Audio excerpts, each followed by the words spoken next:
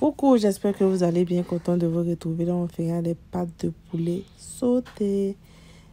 Là, dans une cocotte, j'ai rajouté de l'huile et je vais faire frire la tomate concentrée.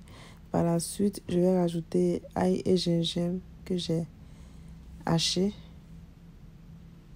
Quand ça a bien frit ainsi, je vais rajouter une feuille de laurier.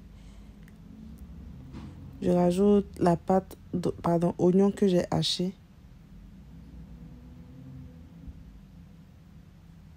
Je vais rajouter poivron haché également. Poivron rouge et poivron vert. Mon bouillon d'assaisonnement qui va remplacer le cube d'assaisonnement. On va bien mélanger ainsi. Du sel, du, du sel, du poivre. Là, je vais rajouter mes pâtes de poulet.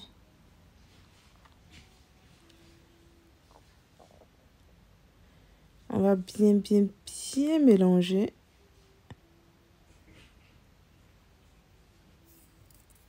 Ici, j'ai un piment que j'ai piqué avec des clous de girofle. Je vais rajouter oignon, tomate et, et pardon, cébette, feuille d'oignon. Feuille d'oignon ou cébette.